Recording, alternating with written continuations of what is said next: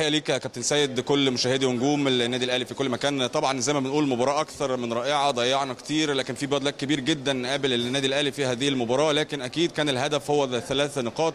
معايا أحد نجوم النادي الأهلي كالعادة الكابتن ناصر ماهر. بحييك يا كابتن ناصر النهارده على المجهود الكبير كالعادة. بالنسبة لك المباراة النهارده لو بنقيمها بنقول شايف المباراة النهارده إزاي؟ ضيعنا كتير رحنا كتير حطينا في أجواء المباراة. قول المباراة النهارده كانت إزاي؟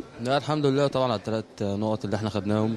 الماتش كان صعب النهارده جدا. آه، كان آه، صعب جدا في بداية الماتش.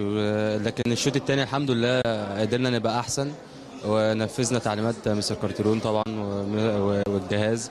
فقدرنا إن إحنا إن إحنا نبقى أحسن وجبنا الهدف الحمد لله الفوز لو بتكلم على أبرز التعليمات اللي الجهاز الفني قالها كان مركز على إيه؟ هل كان مركز معاكم فعلا على لابد غلق صفحة الترجي الفوز الأمور دي كلها والتركيز في بطولة الدوري العام ولا كان الكلام على إيه يا كابتن طبعا اللعيبة يعني الوقت قصير جدا ف يعني كتر خير اللعيبة اللي هم أدوا الأداء ده النهارده.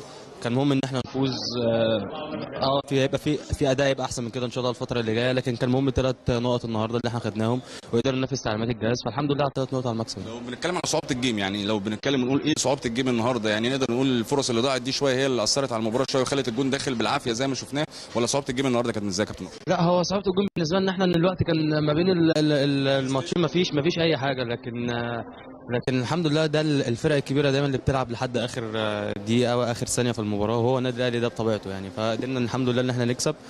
آه، ماتش صعب وماتش مهم بالنسبة لنا فإن شاء الله اللي جاي أحسن بإذن الله. مباريات متلاحمة ورا بعض الأفريقية البطولة العربية بطولة الدوري. أنت يمكن من الناس اللي اصحاب المجهود الكبير. إزاي هتشتغل على نفسك كابتن ناصر الفترة اللي جاية؟ لأن تلاحم كبير جدا للمباريات. طبعا إحنا كلنا مركزين هو ده طبيعة النادي الأهلي وطبعا آه، آه، إحنا مركزين على كده ان شاء الله. كل البطولات اللي إحنا نلعب فيها ناخدها بإذن الله. آه، هو ده هدفنا. هو الأهلي دايما بيلعب النادي الأهلي دايما بيلعب على المركز رقم واحد. فما لا بديل على كده يعني. أخيرا الفترة اللي جاية شايفها إزاي بالنسبة للنادي إن الاهلي شاء الله خير بإذن الله وأداء يبقى كويس ويبقى أداء أحسن إن شاء الله والمكسب دايما بإذن الله.